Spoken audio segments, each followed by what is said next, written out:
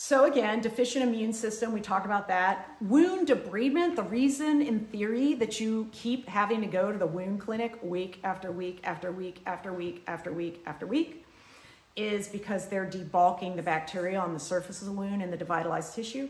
So in the absence of an immune system that can destroy the bacteria and get rid of it itself, you have to go in with a scalpel and forceps and remove all that bacteria. So that's one of the reasons we do wound debridements is to replace an abnormal immune system with some mechanical debridement. Um, it debulks the level of pathogens.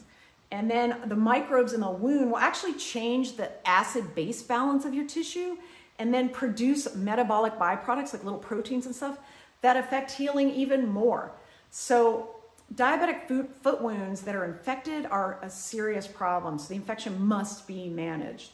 Um, typically, I think the best way is obviously antibiotics, but also surgically removing uh, any actually infected tissue and then offloading it, and then, God forbid, things like that frame we talked about.